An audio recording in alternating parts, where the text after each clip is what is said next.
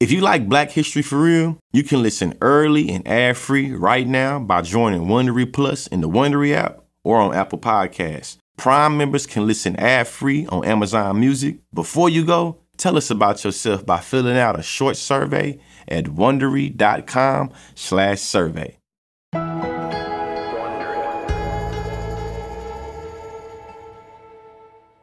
So, Franchesca, you're pretty active on social media, and uh, tell it like it is. I bet you got a lot of a lot of angry trolls, right? the irony of you asking me that question, because I know you be getting them too. like I see them in your comments. Ugh, yeah, I mean, honestly, so I'm. I don't know who has the time, but but apparently these folks do, because sometimes they be sending me wild stuff. H- have you ever been afraid to post something because people threatening you? Ah, uh, that's a really good question. No, I haven't been afraid to post something, but I definitely have taken extra security measures, like when I have public speaking events, having extra security. I don't post about things in real time. Like, I don't say, hey guys, I'm on my way to have dinner at this place, or I'm going out of town this weekend. Like, I don't do that just so that people don't know where I'm at and can like roll up on me. But yeah. No, I, I usually just try to do a gut check and I, I keep a really good circle of people that I trust that if I do say something that's like wrong or I, I have the, uh, you know, I'm, I'm human, mistakes happen. I have people that I can trust that will yeah. let me know like, hey girl, you, you really messed up on this one. What about you? Yeah, you know, I've I've I've I've, I've dealt with my fair share of uh, you know, trolls and uh, threats and uh, disparaging comments about you know uh, wives and daddies and mamas and you know all that. Uh, for me though, I, I, usually think about it like it comes to territory. You know what I'm saying? That's kind of how I try to uh, hold hold it into context. I feel like metaphorically, if I was to own a corner store and I took it personal and people stole from my store, I probably wouldn't be in the right, you know what I'm saying, business. So in my mind, it's like what comes with the visibility is, you know, a lot of the crazy people, you know what I'm saying, that have very strong feelings for you, even though they ain't they ain't never seen you from a can of paint. Um, yeah, you know, I mean it's it it's all, it is. It's also the thing of like when you're making content about social issues, any social issue, but especially when you're talking about race, you are going to set off like a whole contingency of people that are materially invested in your oppression. They don't want you to be educated. Oh, yeah. They don't want you to love yourself. They don't want you to encourage people to think critically about the world around them. Like, and and what's wild is even if you were making like cute, fluffy content, you still would get people who are mad. I mean, I know people that. Yeah, that... but let's go back to what you said though. I feel like I feel like I feel like it's, it's if I'm being real and being and being a little vulnerable, what you just said when you add somebody that look like you you feel me? That mm-hmm. walk like you, they can be identified by the white supremacists the same way that you get identified, and they start to deploy this ugly, nasty type of ideas and perspectives on the people in the community. That's when they start to get ugly. You know what I'm saying? Mm-hmm. I talk about a lot of different issues, and as a result, it make it where a lot of people hate me for different reasons. So the same reason that a white supremacist don't want me talking about race, it be sometimes people in my community and communities of color like mine that, that don't, don't, want you to talk, talk about gender. gender or sexuality. You know yeah, what I'm saying? Or, queerness. or disability. Yeah. You feel me? It's like yeah. y'all, you know what I mean? So I've, I've I've I've found that power has its ways of making people expose themselves to having bad character. You know what I'm saying? But I but I think on that same token, for me, and the reason that I connect with your work so much is that we keep pushing because we know that it's the right thing to do. And that the response, the anger that people have to basic stuff, basic stuff tells you, oh, I need to keep amplifying these issues. I need to keep educating people. And then you see the folks who it, it, it it reaches, you know, and, and that's why it's so powerful to use our platforms in this way. It makes real material change and and anytime there's change in progress, there's somebody who's pissed off about it. Every single it never happens smoothly and nice. You know, hey, I would love some rights. I, I, you know, please treat us fairly. That's not how it works. Yeah, shout out to all the indigenous folks. You know what I'm saying? They get ugly out here, and we see that this the theme we're talking about. I would say is very woven into American culture. I bet Mary Jones Parrish felt something like that when she started to write about the Tulsa Race Massacre. The 31 year old Tulsa resident has decided to write about the massacre that she's witnessed with her own eyes. But that would prove to be much harder than she ever anticipated. A lot of powerful people did not want real facts about that story coming out. And her bravery really puts fears that you and I might have experienced when it comes to those anonymous trolls into perspective. Oh, yes, sir.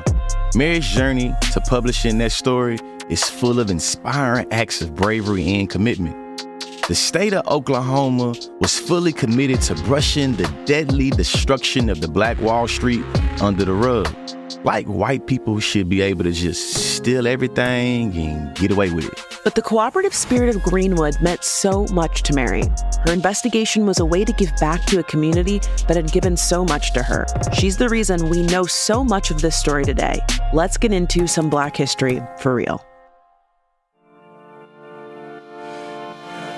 It's been barely a whole few hours until the attack of the District of Greenwood. John Williams already knows he'll never forget the night of May 31st, 1921, no matter how hard he tries. And he will try. Harder than he tried to provide for his family even. And he's been extremely successful at that.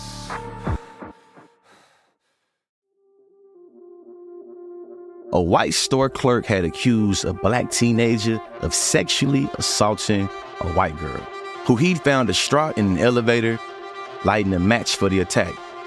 White animosity toward the thriving black neighborhood had been building for months. The White Tulsa Tribune newspaper poured fuel on the fire with racist reports on the allegation. Then, John Williams heard rumors of a plan to lynch the black teenager.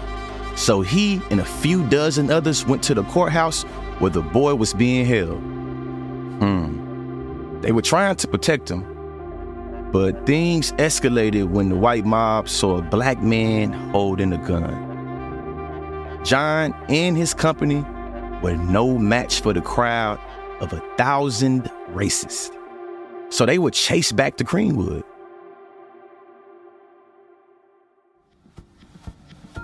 The district had been one of the most affluent black neighborhoods in the country. That's why they called it Black Wall Street. Now it's a war zone, and everything John's ever worked for is under threat, including the auto shop, where he's staring out of the second story window. He clenches the shotgun in his hands. John wipes the sweat drenching his forehead. His wife, Lula, enters with more boxes of ammunition. She's trying her best to hold back tears. John hopes to God he doesn't have to use the bullets. Maybe by some miracle, the mob will get its fill of violence and turn away before reaching the auto shop. Or Lula's movie theater across the street. But the mob only seems to be ramping up. He is not going to let their businesses burn down without a fight. Lula lets out a yelp. The first rioters are within John's shooting range. She refuses to leave. John has been pleading with her since he returned from the courthouse. He tries one last time. I'll make it home, I promise. She wants more than anything to stay and fight beside her, but they have a son, and she's no good with guns. Lula swallows the lump in her throat. John gives her a passionate kiss, then she runs out the door. With hell right on her heels, she flees past Mabel Little's hair salon and then past Mary E. Parrish's typing school. These moments are Lula's last clear view of Ottawa Gurley's cooperative black community. This podcast is supported by FedEx. FedEx offers fast delivery, more visibility, simple returns, and weekend home delivery to 98% of the U.S. population on Saturday and 50% on Sunday. With FedEx, you get picture proof of delivery, ensuring you always know where your package is. Returns are simple with packageless and paperless returns. Plus, FedEx Ground is also faster to more locations than UPS Ground. See the FedEx service guide for delivery information. So, what are you waiting for? See what FedEx can do for your business. Absolutely, positively FedEx. Achieving a gorgeous grin from home isn't a total mystery with Byte clear aligners. Just don't be surprised if all of your sleuthing friends start asking, What's your secret? Begin by ordering your at home impression kit today for only $14.95. Byte clear aligners are doctor directed and delivered to your door. Treatment costs thousands less than braces. Plus, they offer flexible financing, accept eligible insurance, and you can pay with your HSA FSA. Get 80% off your impression kit when you use code WONDERY at Byte.com. That's B-Y-T-E dot com. Start your confidence journey today with Byte. Black is heritage, black is royalty,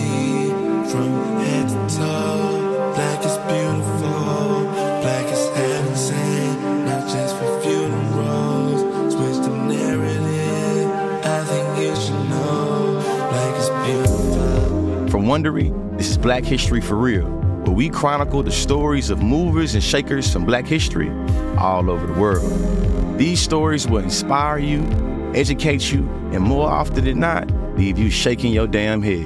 I'm Conscious Lee. And I'm Franchesca Ramsey. This is the final episode in our three part series on Black Wall Street. Today, we're telling the story of Greenwood District's tragic destruction. It would come to be known as the Tulsa Race Massacre. The effects of that night's violence would ripple through the country for over a hundred years to this day. But efforts to shield the truth of what happened began immediately. Much of the little we do know about that night can be credited to the investigative work of Mary E. Jones Parrish, a teacher and writer who witnessed the destruction of a community that meant everything to her. Mary dedicated the years after the horror to reporting the truth at much risk to her life. The Tulsa Race Massacre has been systematically kept out of history books, even in Oklahoma. The Oklahoma State Legislature has refused to provide direct reparations to this day. Mary's work has been critical for keeping the truth and the fight for justice alive. This is episode three. I got a story to tell.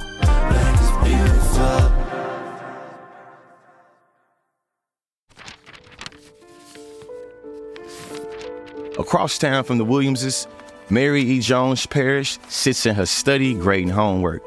She recently founded Mary Jones Parrish School of Natural Education. She teaches typewriting and shorthand right on Greenwood Avenue. Mary loves her work. The thing she cherishes most about this town is the way everybody pours so much into each other. Her way of pouring back is to share her gift of writing. She teaches her students not only how to write, but what writing can do. Writing can give birth to the imagination that created a town like this.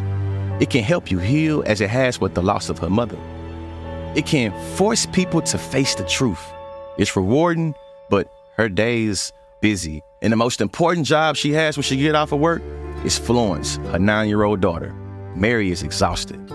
Florence burst into the room, excitement on her doll-like face. But before she can open her mouth, Not right now, Florence. Mary hates sounding so impatient. She adds more softly, Mother has to finish this. but Florence insists, Mother, I see men with guns. Mary hopes this isn't one of Florence's little old games because that girl's got an imagination on her. Mary sets her paper aside and tunes in. Stomach drops when she hears what sounds like a roar of a crowd. Mary powers to the window and opens the blinds. She runs and grabs Florence, carries her back to the room. Stay here. Don't move. Mary leaves the shocked girl and runs back out of the room. She hyperventilates and speeds around the house, locking every door and every window. Did she really just see that? It looked like a mob outside, a white mob, destroying everything in their path.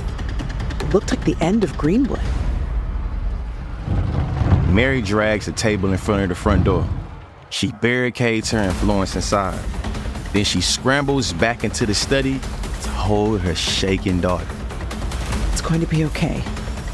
Mary breathes a prayer to Heavenly Father for strength. She'll need it. The whole town will. Tulsa Tribune was the first to report that a black 19 year old had attempted to rape a 17 year old white elevator operator. Their headline, Nab Negro for attacking girl in elevator, it was clearly intended to incite the racist violence Mary witnessed outside her house. There were few facts to support the serious accusation. The way that our media plays a role in shaping narratives about Black folks and our quote unquote hostility and violent nature is so insidious. And what's so frustrating is the fact that we know that the media in this instance played a, a huge role. And yet there's not been any real consequences or reparations for the folks that dealt with the con- the very real consequences and that continues to happen today. It is so important that we talk about this, but it is frustrating because it's like our history is continuing to repeat itself. We see this all of the time in our media, the passive voice that's used when somebody is killed or And before before we came on here, I just seen a 109 year old, the final survivor of the Tulsa Race Massacre, literally having a press conference about what she remembers from that day. She's 109 years old, so that put her about, you feel me, when it's happened, like 11, 10. So she mm-hmm. remembers, you know what I'm saying? And the fact Yeah. that the state of Oklahoma is still denying her, you feel me, reparations, to me, it, it, it, is, it is very indicative and also so many thoughts. her and her whole man- family. what? Not not only her and her own, not only her and her own family. The way that a lot of wealth has passed through Greenwood and Tulsa has benefited a lot of individuals that were perpetuators and abusers on that day and or descendants of them. At the same time, when I left Oklahoma, I was there for 13 years. I was a professor at the University of Oklahoma. I taught 9th and 10th grade English at, you know what I'm saying, Oklahoma City schools. The way them folks was able to use uh, different policies to weaponize it against critical race theory and Yeah. diversity, equity, and inclusion, and then fold Yeah. their unique uh, uh, uh, state history into it, it really was wild. The third thing it made me think of how language is so important. I'm gonna try not to be long-winded on this, but when I first got to, uh, uh, to to Oklahoma, this was referred to as the Tulsa Race Riot, not the Tulsa Race Massacre. The right. and riot and riot makes it sound like y'all started that shit and we finished it. That's the subtext of riot. But that was even how it was referred to legally. So there was a committee, a, a, movement of people, you feel me, throughout Oklahoma that started in Tulsa that went to get the name changed legally from Tulsa Race Riot to Tulsa Race Massacre because they didn't do anything. So when y'all listening to this show and you're hearing about the way that media depicted it, there were also legal implications for how the media was able to paint the narrative, and there were a lot of uh, uh, uh, uh, things that we can't even we ain't even getting into in this. But the last time I was in Tulsa was two years ago, and they had discovered a mass grave that's you know what I'm saying believed to be where they dumped a whole bunch of the victims from this race massacre. You feel me? That happened in this mass grave. You know what I'm saying? So like, Yeah. it's it's living in Oklahoma really shaped my perspective and really impacted my life in more ways than some. And being real, I learned every day another way. Like, damn, I didn't realize Oklahoma really did me like that. The Tribune story said that Dick Rowland scratched the girl and tore her clothes. Eventually, it also came out that many believed the two were lovers and that this was a domestic violence situation. Others claimed Rowland stepped on the girl's foot by accident and tripped. Despite the rumors, the charge of attempted rape was quick to take hold. The incident followed the Red Summers of 1919, when white supremacist terrorism swept across the United States. Dozens of black people had been lynched in Oklahoma in recent years. In Tulsa, some white people called Greenwood Nigger Town. Their envy of Greenwood grew, along with the town's wealth. The headline to Nab a Negro is one that uh, the great Ida B. Wells talks about in her anti-lynching campaigns and how the sexual reality in the 1920s and 19 teens was a lot different from how the sexual politics operated. And as a black man, just like for like listening to this story, it really makes me think about how how how black men are either hyper criminalized or hypersexualized and or sometimes both. And, and, and how uh, when George Bush had read that little ad about the Willie Horton in the 1980s, that he really was taking one out of the handbook of how to how to hypersexualize black men, particularly to be able to, you know what I'm saying, get your constituents to be outraged, to get them to, you know what I'm saying, make some type of action. The thing that always upsets me about this false narrative around who's committing acts of sexual violence is that when acts of sexual violence actually do happen, people don't care. Oh, like, like this, this whole performative thing, of like we got to we got to protect our women. Yeah, but then when women come forward and say, "Oh, I was I was actually abused, I was assaulted," people are like, "Well, it was your fault. What were you wearing?" Da da da. da. So it's like this performance of like turning black men, turning black people into the boogeyman, and yet not and, and doing it for the purpose of shutting down real conversations about violence and, and sexual assault as a way to just continue pushing this false narrative and demonizing black people. And in this instance like you're talking about per, making this like brute force hypersexual you know be be afraid a man's gonna a black man's gonna grab you type of thing. And it's like eh, it's just so insidious that they're able to do at two ti- at the same time they're able to criminalize one community while continuously not supporting actual survivors of, of assault community. In their own community Yeah, like like what do you Yeah, I mean, in my mind, imagine being a white woman in 1919 in Tulsa, Oklahoma, and you experiencing all type of gender violence and sexual violence from people in your community, and you just seeing your community flip shit about a, a about a, about a situation that I'm pretty sure that you don't even realize you don't you don't even think it really happened like that. You know what I'm saying? If you do think it happened like that, you're thinking like, damn, why is it so bad for when they did it, but when you did that and the other? And to be clear, black men are there are black men that are you know what i'm saying responsible for sexual assault and they are guilty of sexual assault. Right now we're being critical about the way that sexual politics happen in media and thinking about the way that black men are you know what i'm saying capitulated as being like hypersexual and not being able to control our sexual desires. So to be clear you know what i'm saying for people that's listening we are not trying to say that black men are immune to sexual assault by no means at all. Yeah, we no are however being critical exactly you know what i'm saying but but It's the idea of like you can't paint everybody with the same brush. It's this idea that like one person's bad behavior does not speak for all people.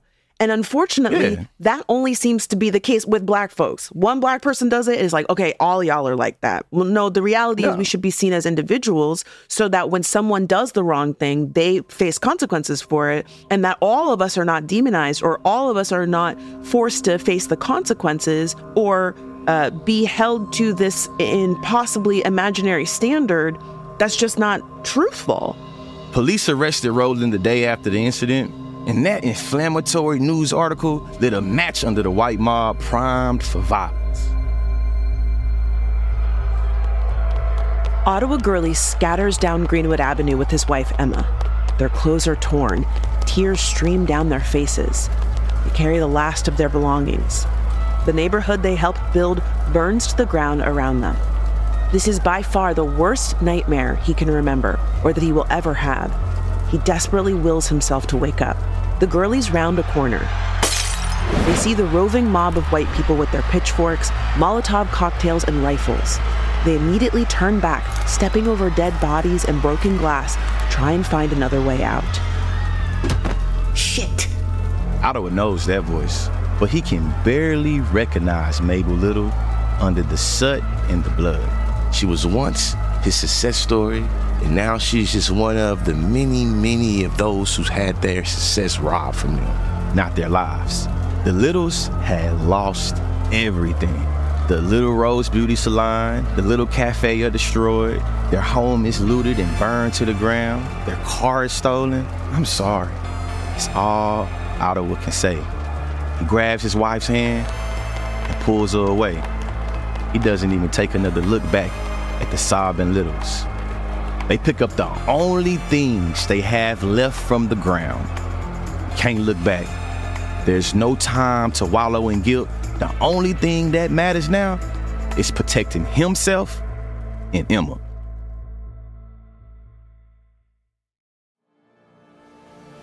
A hundred years after the massacre, media reports still struggle to describe the full scale of the violence, using language like, A white mob destroyed Greenwood, a section of Tulsa where many black families lived and thrived. The massacre is regarded today as one of the worst displays of racist violence in U.S. history. Hours into the chaos, the governor declared martial law and called in the National Guard. Guardsmen allegedly joined the attack and imprisoned as many black Tulsans as they could. By the early morning of June 1st, 1921, Greenwood had been burned to the ground.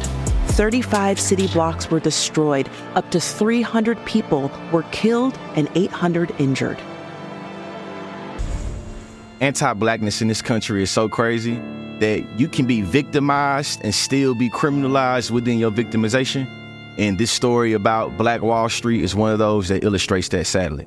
Over 6,000 black people were interned in total, as long as eight days.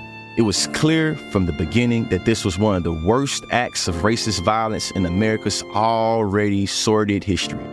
But there were forces committed to obscuring the truth. It would require the commitment and bravery of one dedicated Greenwood resident to uncover it. Across America, BP supports more than 300,000 jobs to keep our energy flowing. Jobs like updating turbines at one of our Indiana wind farms and producing more oil and gas with fewer operational emissions in the Gulf of Mexico. It's and, not or. See what doing both means for energy nationwide at bp.com slash investing in America. We really need new phones. T-Mobile will cover the cost of four amazing new iPhone 15s, and each line is only $25 a month. New iPhone 15s? Only at T-Mobile get four iPhone 15s on us and four lines for 25 bucks per line per month with eligible trade-in when you switch. Minimum of four lines for $25 per line per month with auto pay discount using debit or bank account. $5 more per line without auto pay, plus taxes and fees. Phone fee at 24 monthly bill credits for all well qualified customers. Contact us before canceling account to continue bill credits or credit stop and balance on required finance agreement due. $35 per line connection charge apply. Ctmobile.com.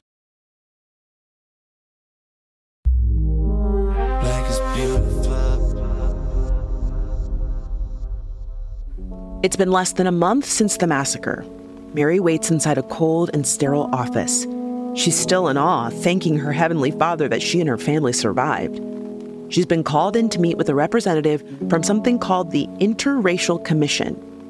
It was created shortly after the mob attacked Greenwood. It's composed of an equal number of black people and fair minded whites who want to heal the city. Good luck with that, Mary thinks. Too many of her friends are in coffins. The charred, skeletal frames of iconic buildings like Lula Williams' Dreamland Theater still line Greenwood Avenue. In dark corners, you'll find blood that is yet to wash away. This is all that was left of Greenwood. Mary's community is gone, just like her mother, and she is all alone again.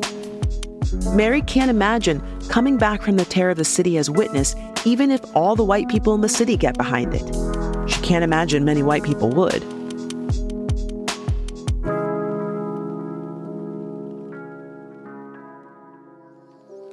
Black people do love each other. Black people work together. There are multiple examples throughout history of towns like Black Wall Street, but also currently in the status quo. And it's something that we all should remember. Despite what they tell you about black people getting in our own way or black people always tearing our own shit up, there is a rich history of us doing things like this. The representative sits across from Mary. Good morning, Mrs. Parrish. He smiles and shakes her hand. She forces a smile back. They don't come too easy for her anymore. Since the massacre, she's been overcome with the sense of dread. Mary asks why she's here. Something told her to accept the meeting, but it all seems futile. There's nothing anyone can do to give back the feeling of community that was extinguished that night. Is there? The representative sits back pensively. He tells her he's heard she's a wonderful educator with the gift for storytelling. She's always loved stories, she tells him. They reveal the truth and help make sense of the world. The representative leans in. Here's a story. Last month, hundreds of Negroes were massacred after a lynch mob burned their thriving town to the ground. They destroyed the offices of the only two black newspapers. The two white newspapers incited the massacre. They're the only ones left to investigate. They keep blaming blacks for the destruction of their own town. Mary waits for the representative to finish. When she realizes there's nothing else coming, she tells him, That's not the story. The representative smiles again. Mary clocks the point he's getting at. So much has to be explored about how the Tulsa massacre occurred. Who let it happen? What did it destroy for good? How will people ever recover?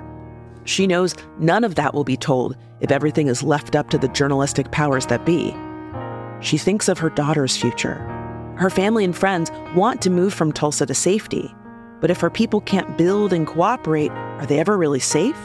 She might be able to save her own life. But what happens when she inevitably dies? When her mother died, it was Greenwood that held her up. Her daughter might not even have a future, let alone a community. Not if the destruction of black support systems is allowed with no accountability. She knows what she has to do. We need you, Mrs. Parrish. We need you to tell the world what really happened down there in Tulsa. A few days later, Mary visits the local hospital. She's accepted the job from the Interracial Commission. It's her very first hospital visit. Her initial doubts are behind her. The importance of telling the story through the lens of the victims gets clearer every day. She wouldn't have believed some of what she's already uncovered if she didn't see it with her own two eyes. She reaches the area where survivors are being treated and stops in her tracks. she make a wrong turn and end up in some faraway war zone? These people look like soldiers from the most horrifying battles. Faces burned skinless, amputated limbs, bandages wrapped around all of their heads. Some of them are held in confinement, yelling gibberish. Their minds have been completely destroyed. If these injuries are what they're still going through weeks later, she understands. Her stomach churns at the horror. She darts to the trash can and throws up her lunch. Her doubts come creeping back. She's no war reporter, she's just a mom. Not to mention, she has her own trauma from that day. She keeps having nightmares that she's running down burning streets and can't find her daughter. Can she really handle this?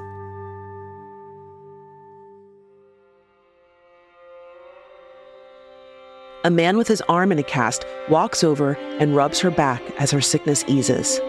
The people of Greenwood always had her back, and now she needs to have theirs. What she went through pales in comparison, and these folks aren't shying away. Mary wipes her lips and stands up straight. She takes out her pen and notepad and turns to the man, more determined than ever. She'll never forget what she saw here. She'll tell this story if it's the last thing she does.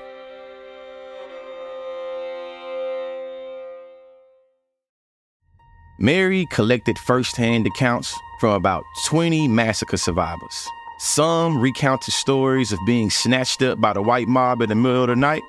Many beaten and dragged into internment camps around the city where they were in prison for days. James T.A. West was a high school teacher. He told her, The National Guard told me to line up in the street. They refused to let one of the men to put on any kind of shoes.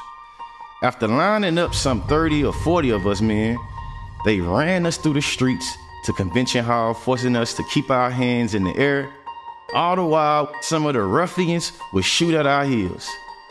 They actually drove a car into a bunch and knocked two or three men down. Others shared tales of fleeing in the middle of the night, dodging gunfire. Even if they managed to escape, like John Williams did when he could no longer protect his auto shop, almost all the people she interviewed returned to homes that were looted and burned. Their stories directly contradict the narrative that government officials are pushing through the white media. The police had claimed they flew airplanes over the city to get a better view of the mayhem. But survivors told Mary they saw their attackers climb into the aircraft with guns and start shooting down from the sky.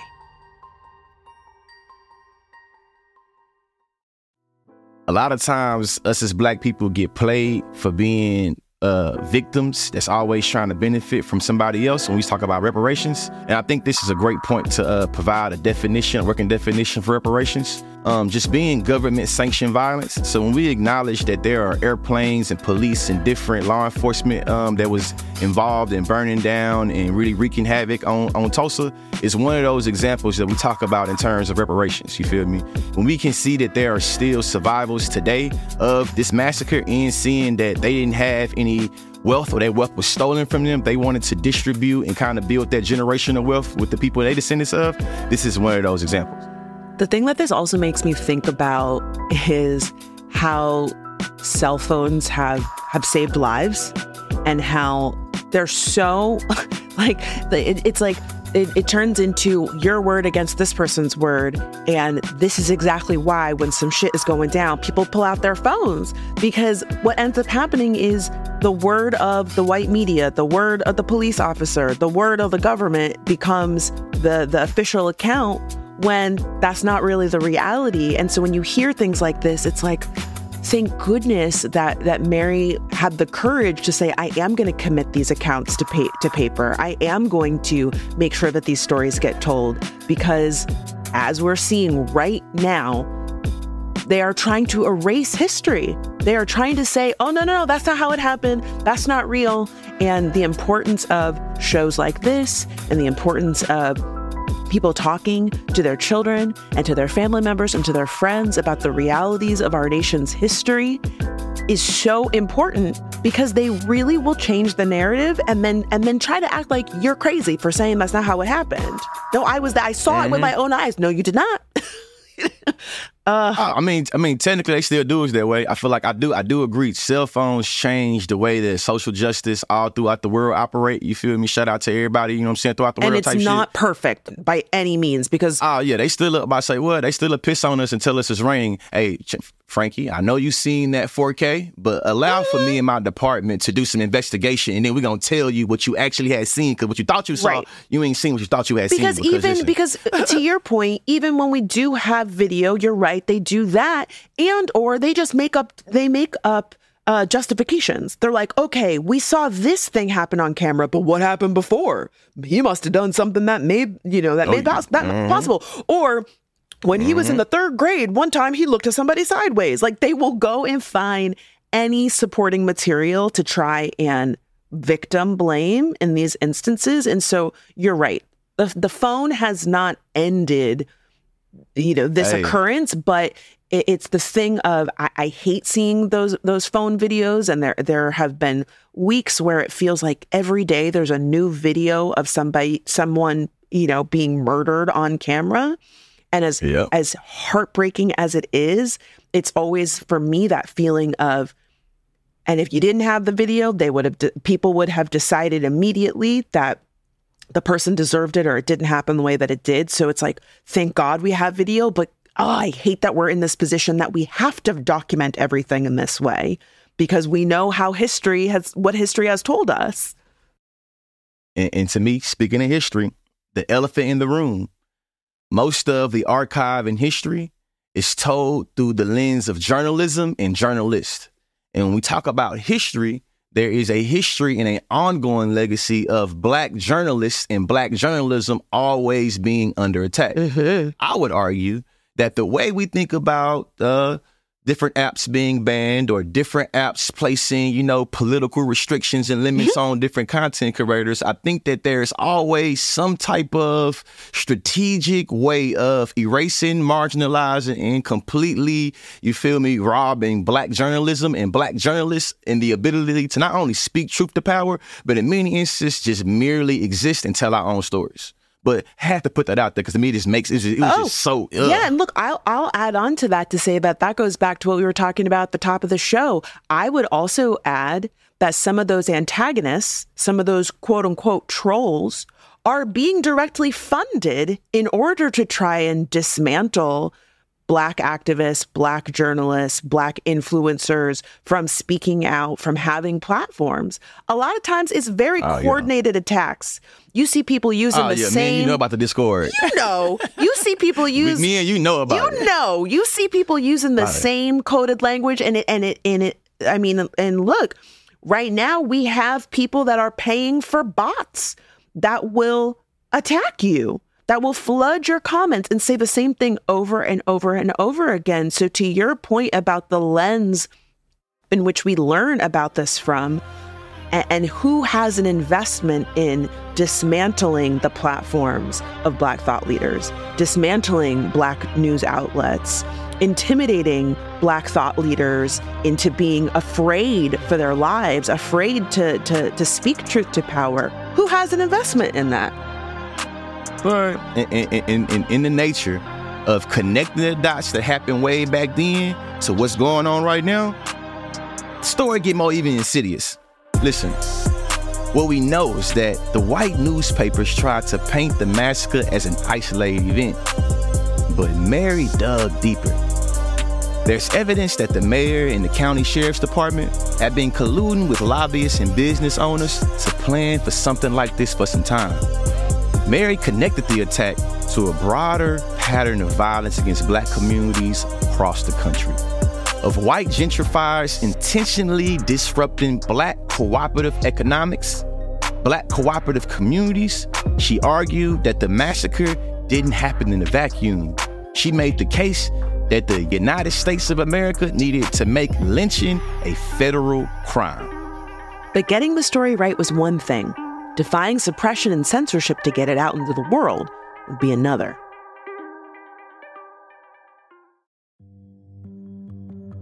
The day after the Interracial Commission released its report, Mary waits anxiously by the door for her husband Simon.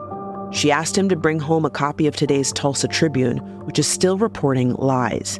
She's hoping her work will finally correct the narrative, but all she feels is apprehension. Simon enters, and Mary rushes up to grab the paper from her husband. Well, hello to you, too. Mary gives her husband an apologetic kiss without taking her eyes off the paper. There is nothing on the front page. Okay.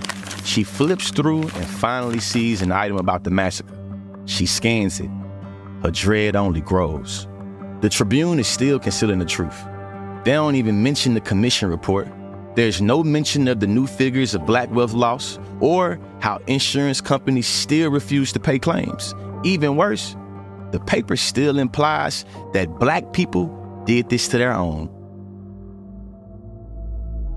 It's clear the white press has no intention of assessing the real damage. And reparations? Not on their agenda. Mary is disgusted. She throws the newspaper away. Not long ago, this would have been all she needed to give up. But she's a different person after everything she's seen and heard and lost. She's not doing this for the white people, she's doing it for the community who held her up. She's afraid Greenwood's cooperative spirit will just fade away if someone doesn't fight for it. Under pressure from police trying to spread the blame amongst the black community, residents have been turning on each other to save what little they have left. They deserve more than such destructive individualism. Right then and there, Mary decides to write a book.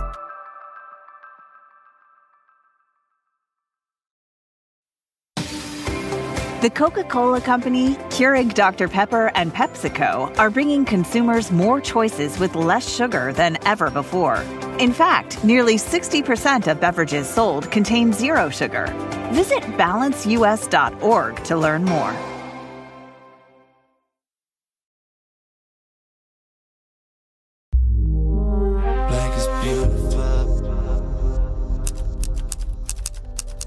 Mary sits at her desk typing intently. Her daughter Florence plays with her dolls in the other room. Mary's making the last few edits to her book. It even shocks her sometimes when she reads it back. She's so close to finishing. She's been stuck on the section about her own experiences that night. She's been struggling to capture the terror of barricading herself and Florence in the house. But she's almost figured it out.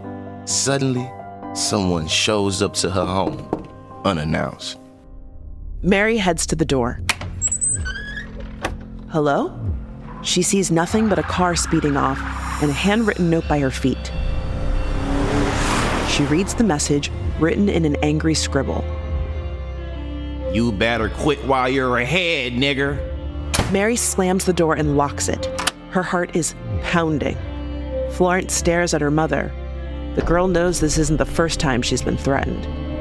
Some people really don't want Mary's stories out there, and they've made it increasingly known these past few weeks.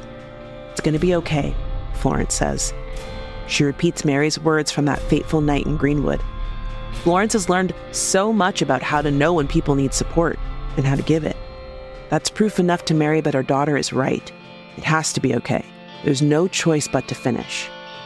Mary tears up the note and shuffles back to her desk.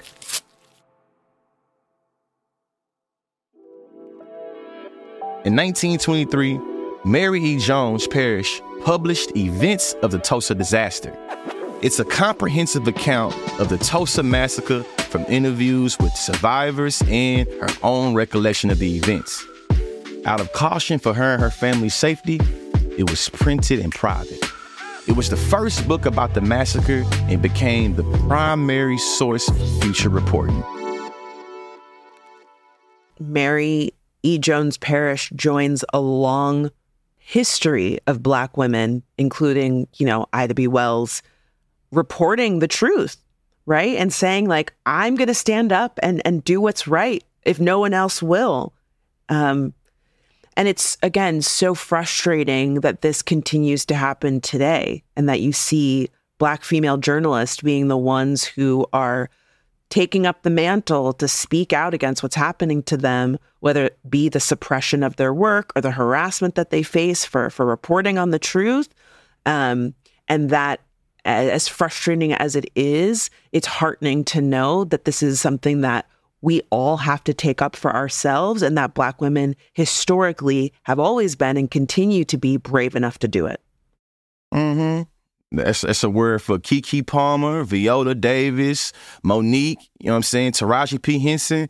We see that, you know, there's there's something about, you know, when black women speak truth to power, maybe for their own thing, what they're going through or what somebody else going through. The, the idea of not shooting the messenger, it seems like it's not that applicable when the messenger, you know what I'm saying, is a black woman. A lot of what we know about the Tulsa Race Massacre is because of Mary Parrish, but we still don't know enough. The impact of Mary's work is undeniable. But racists and politicians with a lot to gain from taking from black communities without consequence have kept the truth buried. And to this day, very few copies of her original book remain. After the Tulsa Race Massacre, Greenwood co founder Ottawa Gurley and his wife Emma were detained in one of the National Guard camps. As a member of the group who had gone to the courthouse to protect Dick Rowland, Ottawa was charged with inciting the riot. He was pressured to implicate his business partner, J.B. Stratford, and a black newspaper editor to secure his own release. The mob destroyed all of Ottawa's property. He lost the majority of his fortune, estimated to be nearly $200,000. That's equal to over $3.5 billion today. But you could argue that his biggest loss was his belief in his and JB's shared vision of a self sustained community. After he betrayed that ideal by ratting out his partner to get out of jail, Ottawa fled to Los Angeles, where he and Emma ran a small hotel.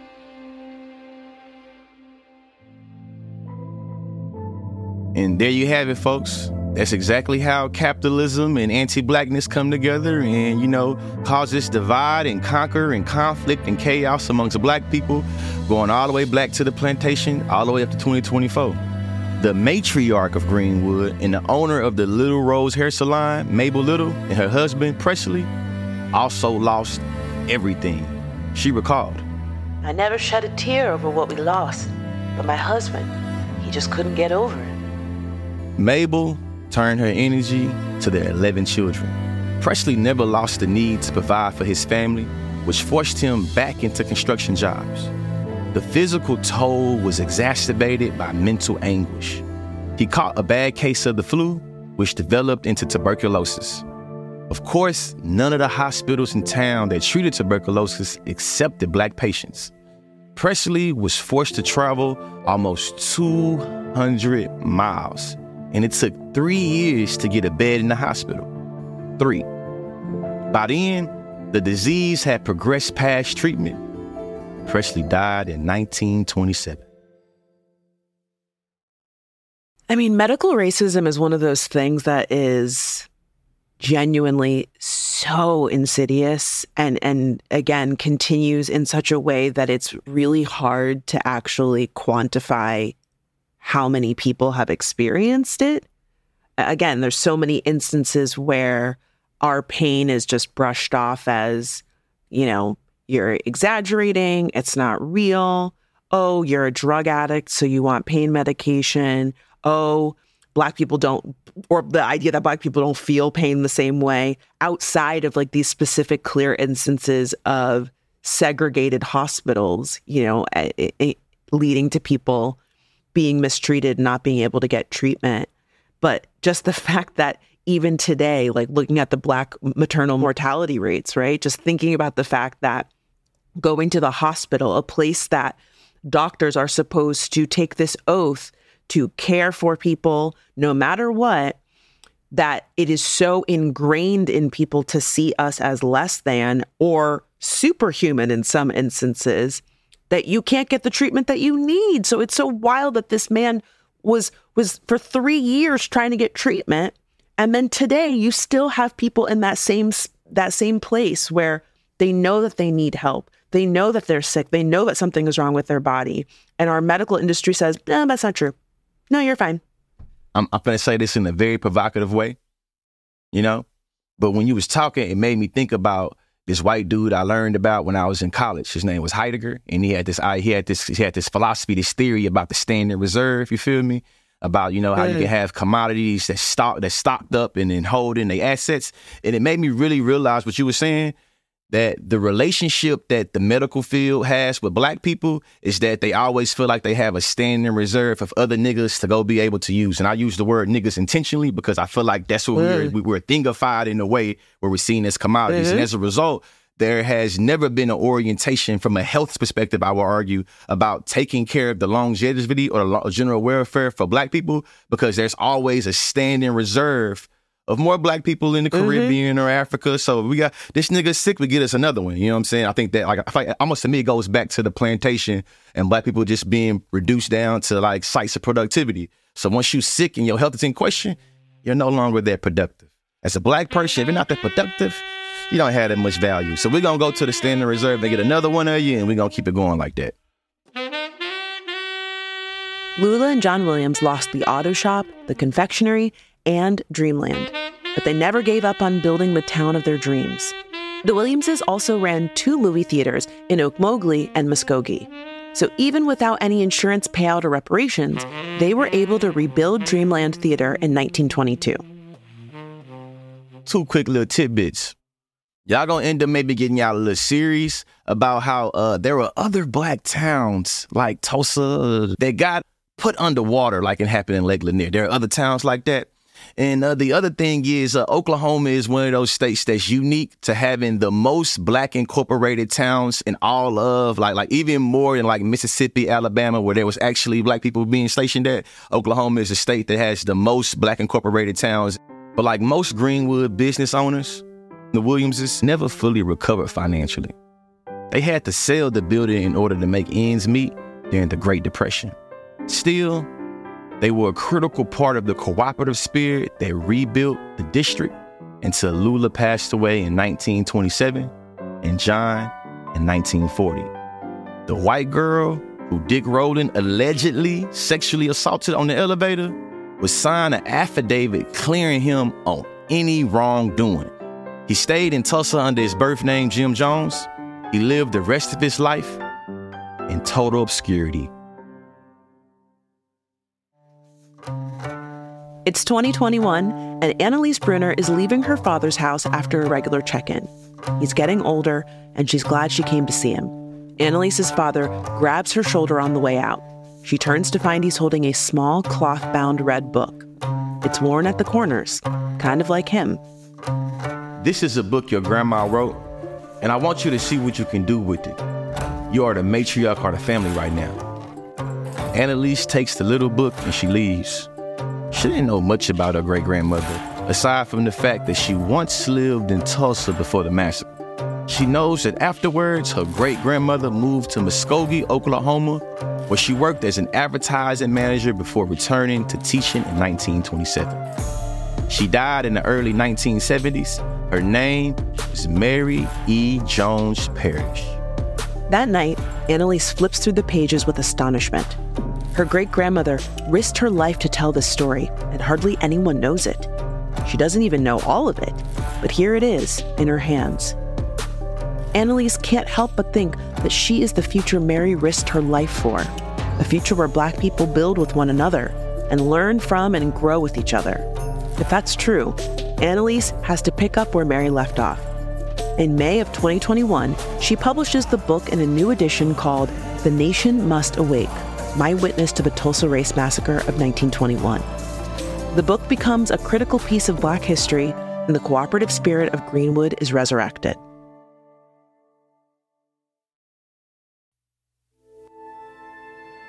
Mary E. Jones Parrish was a mover and shaker of black history for real, and her bravery is the reason why many of us know the story of Black Wall Street.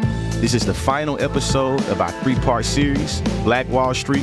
We use multiple sources when researching our stories, including the book America's Black Wall Street, The New Yorker, and The New York Times. A note our scenes contain reenactments and dramatized details for narrative cohesiveness. Follow Black History for Real on the Wondery app or wherever you get your podcasts. You can listen early and ad-free on Wondery Plus. Join Wondery Plus on the Wondery app or on Apple Podcasts. Black History for Real is hosted by me, Conscious Lee, And me, Franchesca Ramsey. Black History for Real is a production of Wondery and DCP Entertainment. This episode was written by Hari Ziyad, sound designed by Greg Schweitzer. The theme song is by Terrace Martin. For DCP Entertainment, the associate producers are Quentin Hill, Brittany Temple, and Chris Colbert. The senior producer is Ryan Woodhall. Executive producers for DCP Entertainment are Adele Coleman and DJ Tracy Treese. For Wondery, Lindsay Gomez is the development producer. The production coordinator is Desi Blaylock. Sophia Martins is our managing producer. Our producer is Matt Gant. Our senior story editor is Phyllis Fletcher. The executive producers for Wondery are Marshall Lewy, Erin O'Flaherty, and Candice Manriquez Wren.